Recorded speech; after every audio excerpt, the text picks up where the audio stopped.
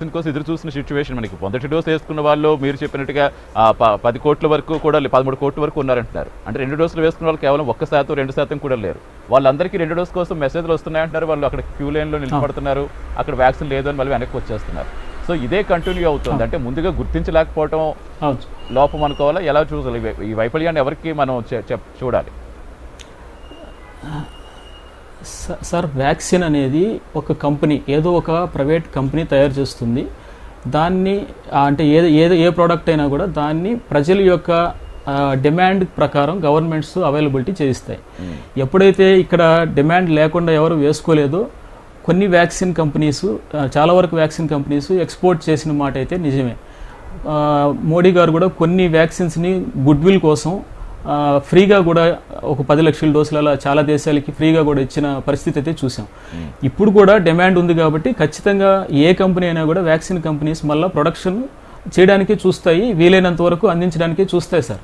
కాకపోతే దానికి కొంచెం టైం పడుతుంది. ఇప్పుడు చెప్పాను కదా సార్ మనం ఇన్స్టెంట్ కాఫీ పొడి ఉంటే ఇమీడియట్గా నొక్కితే మన కాఫీ వచ్చేస్తుంది. కానీ వ్యాక్సిన్ తయారు చేయడానికి ఫార్టీ డేస్ టైం పడుతుంది కాబట్టి ఆ మెయిన్ టైంలో వస్తుంది. అప్పటి వరకు ఇప్పుడు కూడా ఎందుకు ఆపారంటే హెల్త్ కేర్ వర్కర్స్కి వ్యాక్సిన్ ఇవ్వడం కోసమని జనరల్ పబ్లిక్కి ప్రస్తుతానికి ఆపిన మాట అయితే నిజం. ఒక వన్ వీక్ పాటు హెల్త్ కేర్ వర్కర్స్కి వేసేస్తే వాళ్ళు కొంచెం ధైర్యంగా పనిచేయడానికి ఉంటుందనే ఉద్దేశంతో ఇప్పుడు మాకందరికీ హాస్పిటల్స్ అందరికీ ఇప్పుడు నేను కూడా సెకండ్ డోస్ తీసుకోవాలి సార్. నాకు కూడా ఫోన్ చేశారు. సెకండ్ డోస్ ఉందండి. అవైలబిలిటీలో ఉంది. మీరు వచ్చి తీసుకోండి అని. అదే నార్మల్ పబ్లిక్ ఎవరైతే ఉన్నారో వాళ్ళకి ఆ వ్యాక్సిన్ ఉన్న ఉన్నదాన్ని సరదాలు కాబట్టి ఆ విధంగా చేశారు. ఇది ఫోర్ ఫైవ్ డేస్లో ఖచ్చితంగా సార్ట్ అవుట్ అవుతుందని నేనైతే అనుకుంటున్నాను సార్. రైట్ సుధాకర్ గారు సో మీరేం చెప్తారు? ఒకవైపు కేసులు పెరిగిపోతున్నాయి వ్యాక్సిన్ డిమాండ్ మరోవైపు. సో ఓవరాల్గా ఎక్కడ కనిపిస్తుంది అనుకోవాలి? అరవై శాతం ఉత్పత్తి మనమే చేస్తున్నామని చెప్తున్నాం డెబ్బై దేశాలకు ఎగుమతి చేస్తాం. ఈరోజు వ్యాక్సిన్ కోసం అందరూ మళ్ళీ కళ్ళు కాయలు కాయలు ఎదురు చూడాల్సిన సిచ్యువేషన్ వచ్చింది. అందరికీ నమస్కారం. అక్కడ ఉన్నటువంటి మిత్రులందరికీ కూడా నమస్కారం. వాస్తవానికి మీరు చెప్పినటువంటి పరిస్థితి ఫిబ్రవరి నెల నుంచి కేంద్ర ప్రభుత్వం హెచ్చరిస్తూ వచ్చిందండి రాష్ట్ర ప్రభుత్వాలను ఇది చాలా మంది మర్చిపోతున్నారు. ఉదాహరణకి నిన్న భూపేన్ బఘేల్ ఛత్తీస్గఢ్ ముఖ్యమంత్రి మాకు కేంద్ర ప్రభుత్వం నుంచి ఎలాంటి అలర్ట్ రాలేదని చెప్పి అన్నారు. ఫిబ్రవరి ఏడవ తారీఖున మహారాష్ట్ర నుంచి వస్తున్నటువంటి వాళ్ళ వల్ల ఛత్తీస్గఢ్లో వ్యాధి వ్యాపించే అవకాశం ఉంది మహారాష్ట్రలో వ్యాధి తీవ్ర పరిస్థితుల్లో ఉంది అని చెప్పేసి చెప్పడం జరిగింది. కాబట్టి కేంద్ర ప్రభుత్వం హెచ్చరించడం జరుగుతోంది. నిజానికి తెలంగాణ దగ్గర కూడాను బార్డర్ని ఫిబ్రవరి నెల మొదటి వారం నుంచే కట్టడి చేయడం ప్రారంభించారు. ఎందుకంటే మహారాష్ట్రలో కేసులు పెరుగుతున్నాయి కాబట్టి.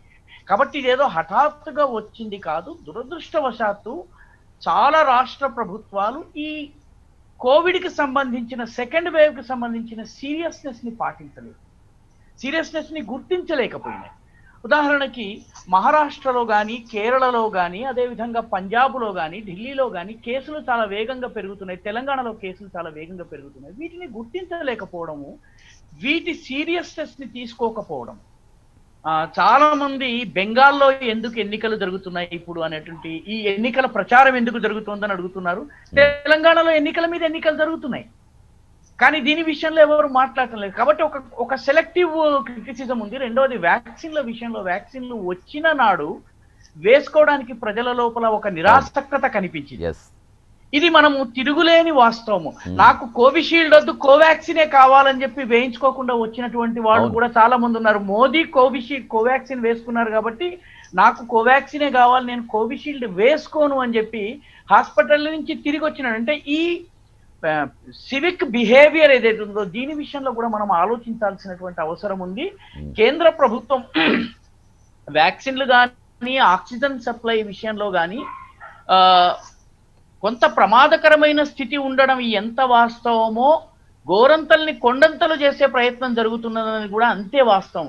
మీకు ఒక్క ఉదాహరణ చెప్తాను. కొంత మనం సబ్జెక్ట్ నుంచి డీవియేట్ అవుతున్నప్పటికీ Hmm. ఆక్సిజన్ సిలిండర్స్ కొరత విషయంలో చాలా పెద్ద వివాదం వచ్చింది. వచ్చిన తర్వాత కాంగ్రెస్ నాయకులు వీళ్ళందరూ కూడా మాట్లాడారు. మాట్లాడుతూ ఒకవైపు మన దేశంలో ఆక్సిజన్ సిలిండర్ కొరత ఉన్న సమయంలో విదేశాలకు ఎందుకు ఎగుమతి చేస్తున్నారు అని చెప్పి చాలా మంది అన్నారు. ఉమ్, వాస్తవానికి ఏంటంటే ఇండస్ట్రియల్ ఆక్సిజన్ ఎగుమతి జరుగుతోంది. మెడికల్ ఆక్సిజన్ ఎగుమతి జరగడం లేదు.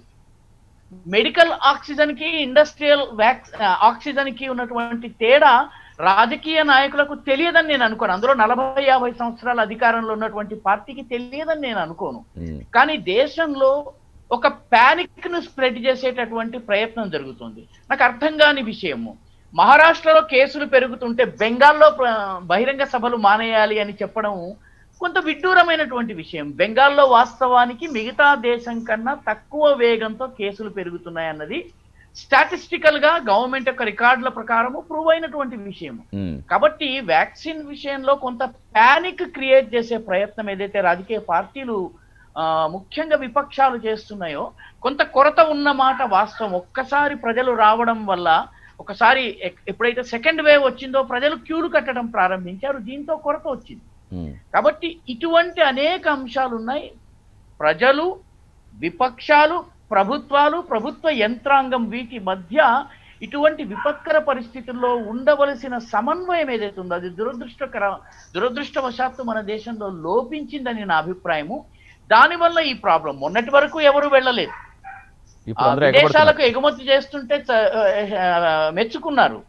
ఆ తరువాత మన దేశం యొక్క దౌత్యపరమైనటువంటి విజయంగా దాన్ని అభివర్ణించినటువంటి సేమ్ పీపుల్ ఈ రోజు దానిని విదేశాలకు ఎందుకు ఎగుమతి చేస్తున్నారు అంటే ఈ రకంగా జరగదు సార్. ఒప్పందాలు ఏవైతే ఉన్నాయో ఇండస్ట్రియల్ ఆక్సిజన్ని మెడికల్ ఆక్సిజన్తో పొరపడడం ఏదైతే ఉందో ప్రజలలో పత్రికలు కూడా అపోహల్ని వ్యాపింపజేయడం ఏదైతే ఉందో పత్రికా రంగంలో కూడా అంటే సుధాకర్ గారు అంటే ఇక్కడ సుధాకర్ గారు ఎగుమతి చేయటం ఇంకొకరికి సహాయం చేయడం తప్పుపట్టడం కాదు కానీ అంటే దేశ జనాభా నూట ముప్పై కోట్లు ఉన్నప్పుడు ఇంత ఇన్ని వ్యాక్సిన్స్ మనకు అవసరం అవుతాయి అనే అంచనాలు ఏమైనా లెక్కలు తప్పాయి అనుకోవాలా ముందు అరవై ఏళ్ళు పైబడ్డ వారికే కాబట్టి వారికి మాత్రం వ్యాక్సిన్స్ సరిపోతుందనే ఉద్దేశంతో ఆ, విధంగా ఆలోచించారనుకో ఎలా చూడాలి?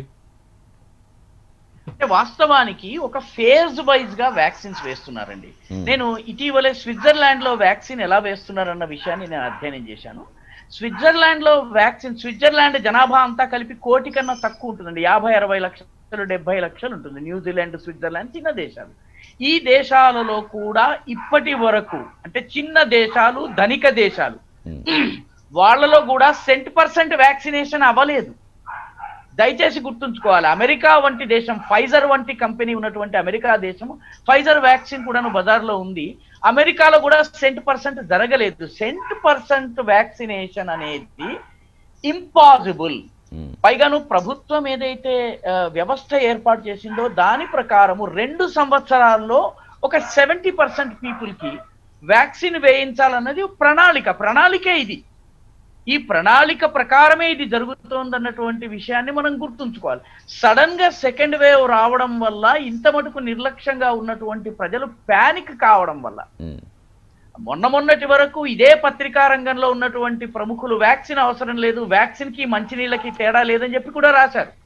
నేను పత్రికా రంగానికి చెందినటువంటి వాడిని కానీ కాబట్టి ఓవరాల్గా మనం అనుకున్నటువంటి పథకం ప్రకారమే ప్రభుత్వము వేసినటువంటి ప్రణాళిక ప్రకారమే వ్యాక్సినేషన్ జరుగుతోంది. ప్రభుత్వము స్థానిక అవసరాలను దృష్టిలో పెట్టుకున్న తరువాత మాత్రమే ఎగుమతి చేసింది. అయితే సడన్ రష్ రావడము రెండవ ఫేజ్ పెద్దగా రావడము ఉదాహరణకి ఈ రెండవ ఫేజ్ మనం ఊహించిన దానికన్నా ఎక్కువ వేగంగా రావడం దీనివల్ల సమస్య వస్తుంది. కోవిడ్కి సంబంధించి ప్రజలు ఒక్కసారి రష్ కావడం ప్రభుత్వం ఏదైతే ఫేజ్ వైజ్గా ఇవ్వడానికి ప్రయత్నం చేస్తుందో మే ఒకటి నుంచి ఎయిటీన్ ఇయర్స్ ఉన్నటువంటి వాళ్ళందరికీ ఇవ్వాలని చెప్పి ప్రయత్నం చేస్తోంది. ఇప్పటి వరకు ఒక థర్టీన్ క్రోర్ పీపుల్కి వ్యాక్సిన్ ఇవ్వడం జరిగింది. ఉమ్, ప్రణాళికాబద్ధంగా వెళ్ళినట్లయితే కొంత సమయం పడుతుంది.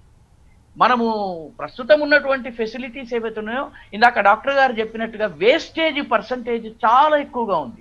మీకు తెలంగాణలో వేస్టేజ్ చాలా ఎక్కువగా ఉంది. ఆ, అదే విధంగా కొన్ని కొన్ని హాస్పిటల్స్లో ప్రైవేట్ హాస్పిటల్స్లో మేము ఒక పది మంది పేషెంట్లు జమ అయిన తర్వాత మీకు ఫోన్ చేసి పిలుస్తాము. దయచేసి అప్పుడు రండి. ఒకసారి ఓపెన్ చేసినట్లయితే ఇవి వేస్ట్ అవుతాయని చెప్పినటువంటి సందర్భాలు కూడా ఉమ్. నాకు వ్యక్తిగతంగా తెలుసును. కాబట్టి ఓవరాల్గా ప్రజా భాగస్వామ్యము విషయంలో కొంత లోపాలు ఉన్నాయి. ప్రజలు ప్రభుత్వము చెప్పినటువంటి కోవిడ్ విషయంలో ఒక విపక్ష నేత ఇది బీజేపీ వ్యాక్సిన్ అన్నారండి. ముఖ్యమంత్రిగా పనిచేసి ఉత్తరప్రదేశ్ వంటి రాష్ట్రానికి ముఖ్యమంత్రిగా పనిచేసిన వ్యక్తి ఇది బీజేపీ వ్యాక్సిన్ నేను వేయించుకోనన్నారు. ఆ, అంటే ఈ రకమైన బాధ్యతారాహిత్యం వల్ల మనము ప్రణాళికను తప్పుతున్నాము తప్పితే ఓవరాల్గా మనం అనుకున్న రీతిలోనే వ్యాక్సినేషన్ జరుగుతుంది కొద్దిగా ఓపిక పట్టినట్లయితే. Right testing tracking and treating ఏదైతే ఉందో అది జరిగినట్లయితే మనకి సమస్యలు ఉండవు. వ్యాక్సిన్ కూడాను మనము అనుకున్న ప్రణాళిక రీతిలోనే జరుగుతుందన్న విషయాన్ని